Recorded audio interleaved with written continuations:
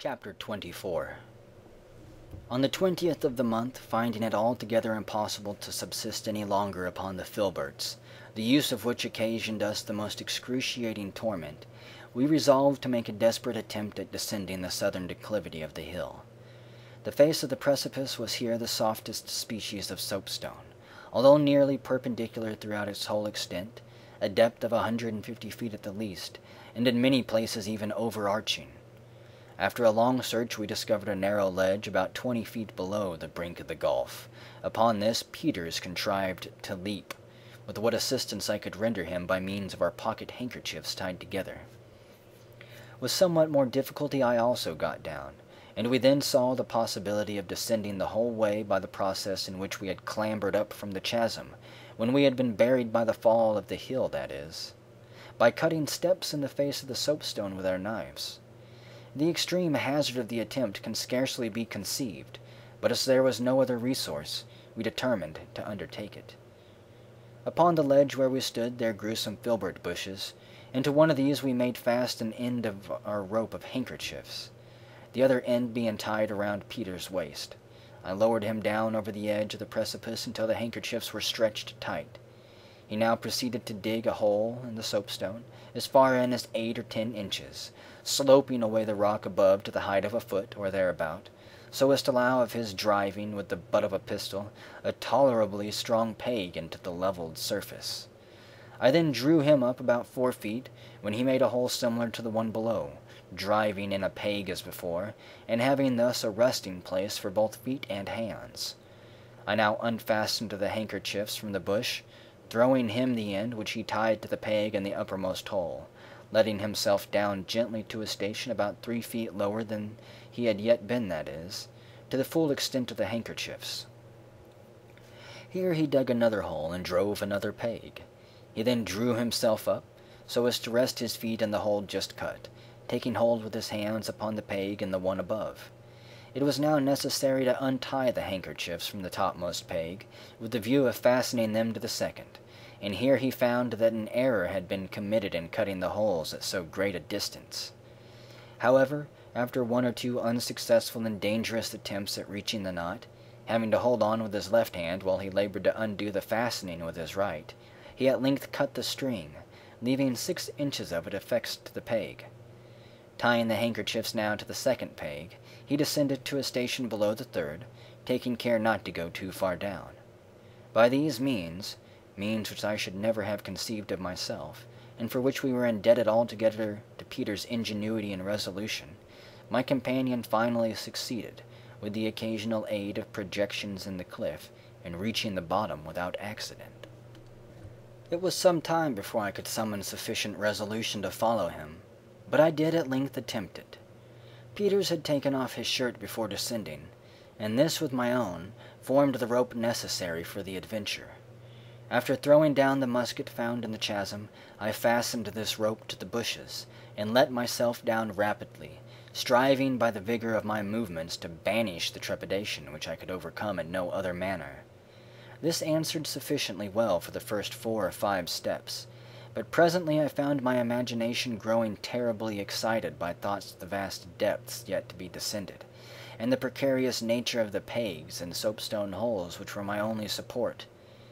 It was in vain I endeavored to banish these reflections, and to keep my eyes steadily bent upon the flat surface of the cliff before me.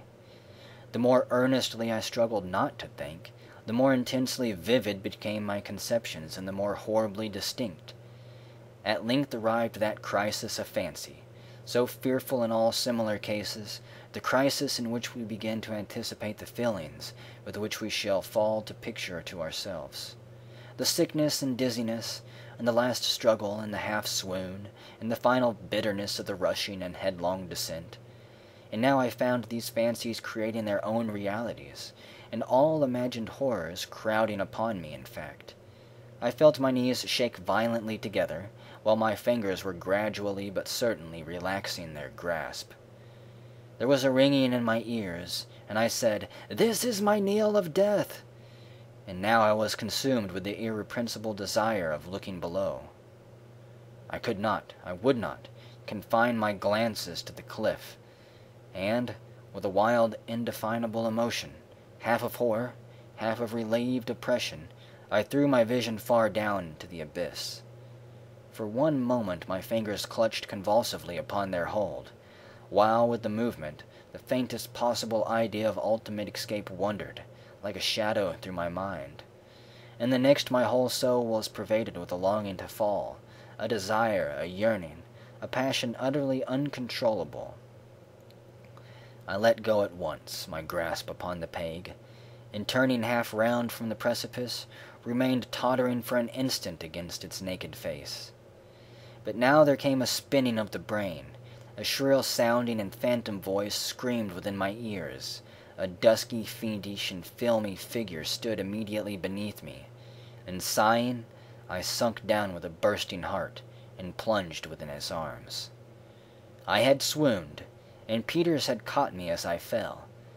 He had observed my proceedings from his station at the bottom of the cliff, and perceiving my imminent danger, had endeavored to inspire me with courage by every suggestion he could devise, although my confusion of mind had been so great as to prevent my hearing what he said, or being conscious that he had even spoken to me at all. At length, seeing me totter, he hastened to ascend to my rescue, and arrived just in time for my preservation. Had I fallen with my full weight, the rope of linen would inevitably have snapped, and I should have been precipitated into the abyss. As it was, he contrived to let me down gently, so as to remain suspended without danger until animation returned. This was in about fifteen minutes. On recovery, my trepidation had entirely vanished. I felt a new being, and with some little further aid from my companion, reached the bottom also in safety. We now found ourselves not far from the ravine which had proved the tomb of our friends, and to the southward of the spot where the hill had fallen. The place was one of singular wildness, and its aspect brought to my mind the description given by travelers of those dreary regions marking the site of degraded Babylon. Not to speak of the ruins of the disrupted cliff which formed a chaotic barrier in the vista to the northward, the surface of the ground in every other direction was strewn with huge tumuli, apparently the wreck of some gigantic structures of art, although in detail no semblance of art could be detected. Scoria were abundant, and large shapeless blocks of the black granite intermingled with others of marl, and both granulated with metal. Of vegetation there were no traces whatsoever throughout the whole of the desolate area within sight. Several immense scorpions were seen, and various reptiles not elsewhere to be found in the high latitudes. As food was our most immediate object, we resolved to make our way to the sea-coast, distant not more than half a mile, with a view of catching turtle, several of which we had observed from our place of concealment on the hill.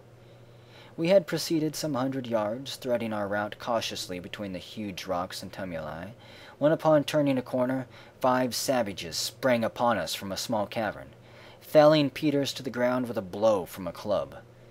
As he fell, the whole party rushed upon him to secure their victim, leaving me time to recover from my astonishment. I still had the musket, but the barrel had received so much injury in being thrown from the precipice that I cast it aside as useless, preferring to trust my pistols, which had been carefully preserved in order. With these I advanced upon the assailants, firing one after the other in quick succession. Two savages fell, and one who was in the act of thrusting a spear into Peters sprang to his feet without accomplishing his purpose. My companion being thus released, we had no further difficulty. He had his pistols also, but prudently declined using them, confident in his great personal strength which far exceeded that of any person I have ever known. Seizing a club from one of the savages who had fallen, he dashed out the brains of the three who remained, killing each instantaneously with a single blow of the weapon, and leaving us completely masters of the field. So rapidly bad these events passed that we could scarcely believe in their reality, and were standing over the bodies of the dead in a species of stupid contemplation, when we were brought to recollection by the sound of shouts in the distance. It was clear that the savages had been alarmed by the firing, and that we had little chance of avoiding discovery. To regain the cliff it would be necessary to proceed in the direction of the shouts, and even should we succeed in arriving at its base, we should never be able to ascend it without being seen. our situation was one of the greatest peril, and we were hesitating in which path to commence a flight, when one of the savages whom I had shot, and supposed dead, sprang briskly to his feet, and attempted to make his escape. We overtook him, however, before he had advanced many paces, and were about to put him to death when Peters suggested that we might derive some benefit from forcing him to accompany us in our escape. We therefore dragged him with us, making him understand that we would shoot him if he offered resistance. In a few minutes he was perfectly submissive, and ran by our sides as we pushed in among the rocks, making for the seashore. So far, the irregularities of the ground we had been traversing hid the sea, except at intervals from our sight, and when we first had it fairly in view, it was perhaps two hundred yards distant. As we emerged into the open beach we saw, to our great dismay, an immense crowd of the natives pouring from the village, and from all visible quarters of the island, making toward us with gesticulations of extreme fury, and howling like wild beasts.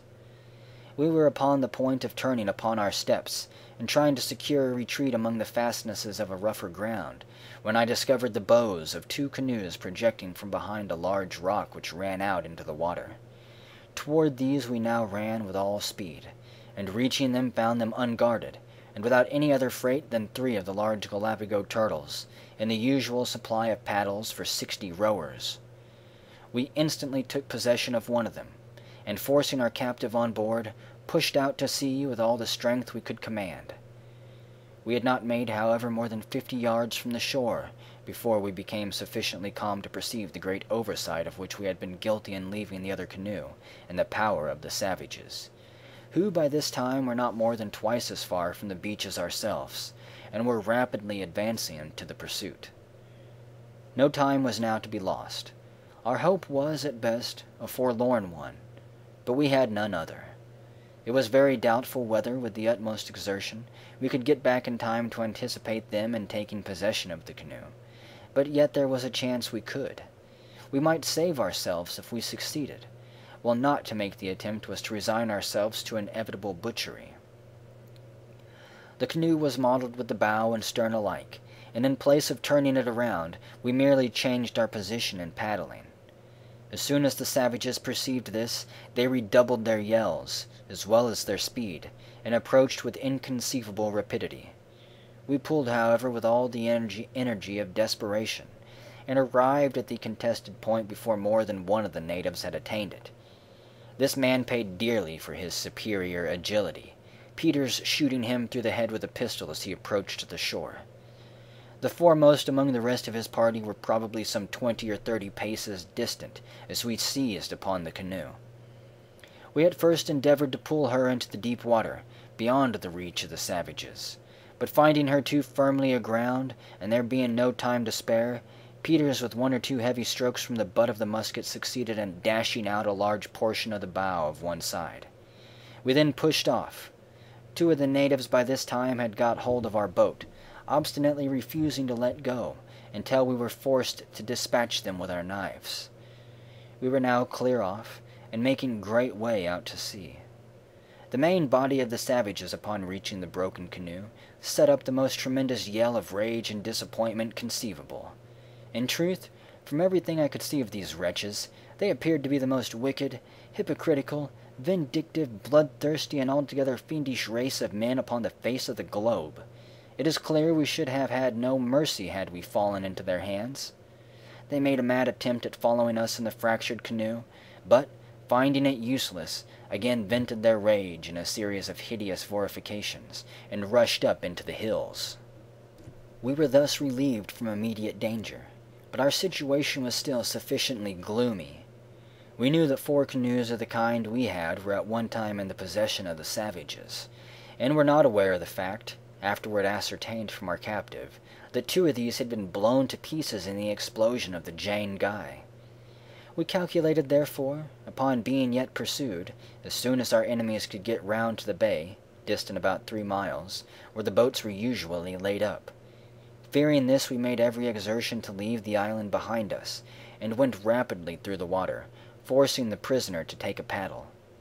In about half an hour, when we had gained probably five or six miles to the southward, A large fleet of the flat-bottomed canoes or rafts were seen to emerge from the bay, evidently with the design of pursuit. Presently they put back, despairing to overtake us.